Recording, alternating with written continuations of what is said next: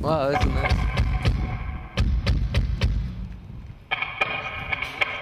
I think Pythagoras had the theory about the Earth had, radiates a certain energy, a certain frequency, and all music channels that energy, Earth energy.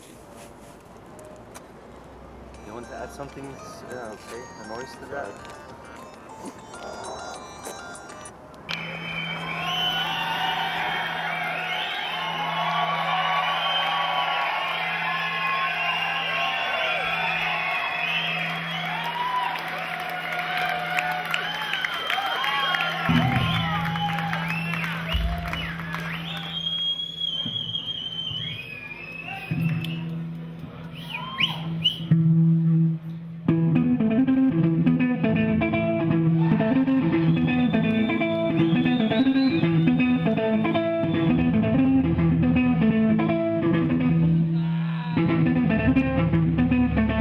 At the end of the day, like a, a the document of an album is something for you to have when Battles is not in your town. But at the same time, it's like when you get to see uh, a band perform live and they're feeding off the energy of of like the audience, and there's this something that exists there that's not something you could always get on an album. That's that's what makes seeing a band special, you know. I think about a lot like this is more of a show. I, th- I think it was things have been going just for music in general that the records the real thing and the show is because nobody knows who the Beatles are. We only know what their records were, right? So in a way, the record is like the truth. But um, and I think that to a degree, I guess that's still the case. But at the same time, it seems like shows are now more important for people, like in general, not just us. But you know, records, music's traded as an MP3 on the internet, so now it's, it's cheaper. Yeah. And and so a show is something people will still pay twenty dollars to go see. My thing is, I, I don't necessarily like records that sound like a live show. Anyway, I, I think it's I think it's cool to have them separate and to be looked at as separate entities. You know, I, to like try to capture the live performance on a CD is kind of it's it's, it's unnecessary and it's impossible. And weird vice way. versa. Yeah, and vice versa. So we're never going to see the Battles Christmas live recordings. I would never say never. That's one thing I've learned. We love Christmas.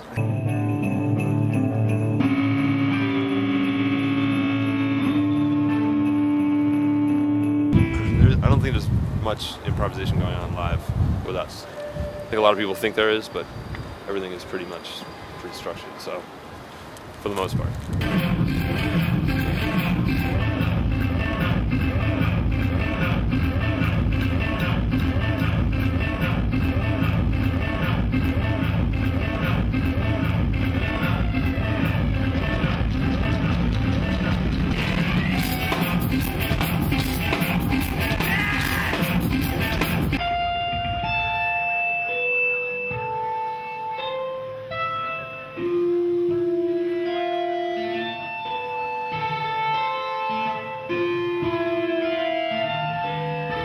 Oh my god. It's a ghost. It's a ghost. Look, it's a ghost. wasn't really a ghost. So what else? Yeah, I mean, we're still we're still like fleshing things out. I'm, I definitely like to sing, so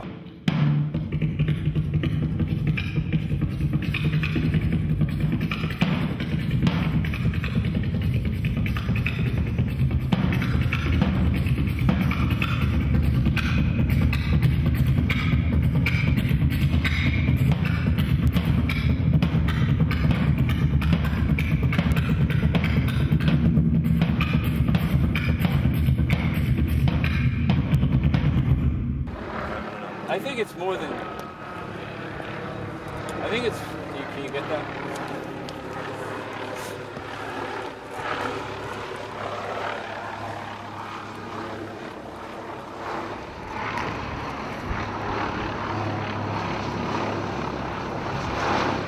You know, jazz is a canon, and like the guardians of jazz want nothing to do with us. I mean, we, we're not jazz at all. We have nothing to do with it.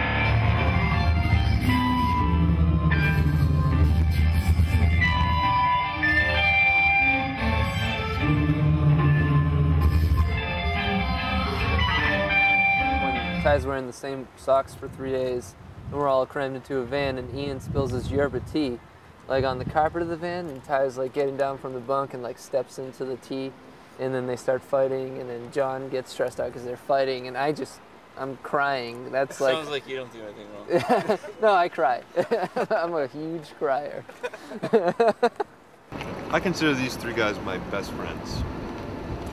Yeah. serious. I mean that. He's only he's only saying that because he's, because there's cameras in front of us. That's all. Only reason he's saying that. Yeah. He's only saying that because we're the only human beings he's gonna have contact with for a month. So Enough.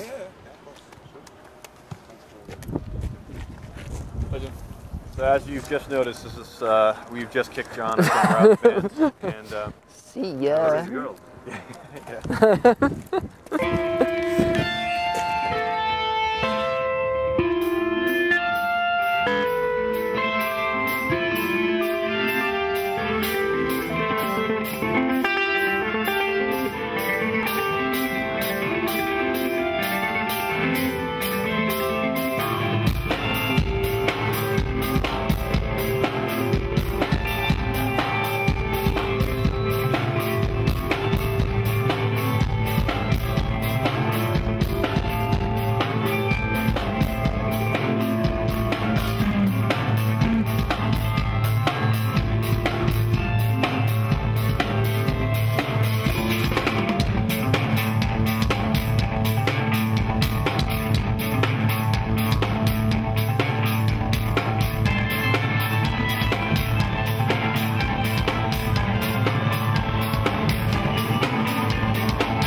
Sometimes after a tour, we take like maybe a week off just to just to chill and have some downtime. But